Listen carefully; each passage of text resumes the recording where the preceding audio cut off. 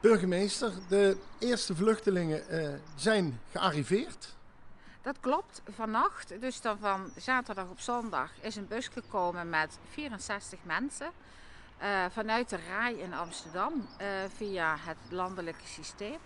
Er zijn acht huisdieren bij en van die 64 mensen zijn 19 kinderen.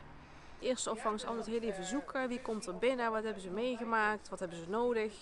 Um, en dan uh, gaan we het praatje aan. We gaan wat registreren, vragen ook wat ze nodig hebben. En dan uh, kunnen ze uh, heel even rusten, wat eten. En dan komt eigenlijk wel naar voren dat ze het ja, heel zwaar hebben gehad. En natuurlijk nog steeds. Lange weg achter de rug. Zijn misschien al verschillende plekken geweest. Maar ze hebben hier in ieder geval hun eerste opvang kunnen vinden. En een luisterend oor heel even kunnen slapen. En dan vanuit hier kunnen ze naar een andere plek waar ze wat langer kunnen blijven.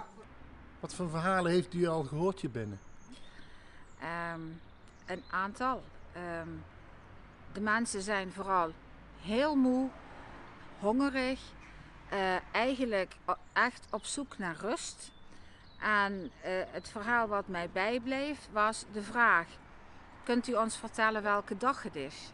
En toen we vertelden dat het eigenlijk zondagmorgen 21 maart was, kregen we het antwoord: Ik heb op 4 maart de deur achter me dichtgetrokken in de Oekraïne.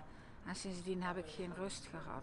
Als ik zie hoeveel vrijwilligers er komen, hoe goed de, uh, het inzamelpunt en de voormalige Action werkt, die nu al zorgt voor dekens en voor andere zaken. Um, hoeveel warmte uh, naar de mensen toe uitgestraald wordt door de vrijwilligers vanuit de inzamelpunten, vanuit Optisport, vanuit alle mogelijke lijnen. De Maasduinenstaten uh, stuurt uh, een verzorgende om te kijken naar een mevrouw met hoge bloeddruk enzovoort. Nou, het is gewoon geweldig om te zien. We zijn heel tevreden. Een hele fijne samenwerking natuurlijk met de gemeente. Die is natuurlijk uiteindelijk verantwoordelijk. Maar we, ja, we bespreken alles samen wat nodig is, wie regelt wat. Um, de locatie hier natuurlijk is hartstikke mooi. En ja, wij hebben natuurlijk wat materialen aan kunnen leveren.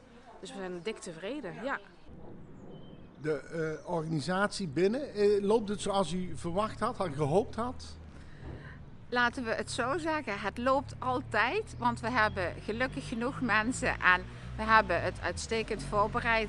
Maar uiteraard zijn er vragen waar wij uh, ook even moeten kijken hoe we daaraan kunnen beantwoorden. Maar ehm, de mensen zijn ontzettend vermoeid en wij moeten eigenlijk meteen standpeden en antwoord kunnen geven. Dat lukt niet altijd, wij doen ons best. En ik ga ervan uit dat dit vandaag uh, ons groeimodel is en tot vanaf morgen alles vlekkeloos loopt. Verwacht u de komende dagen meer mensen? Gelaat op de stromen die komen, ja. Maasduinen Centraal. Maasduinen Centraal. De regio, dat zijn wij.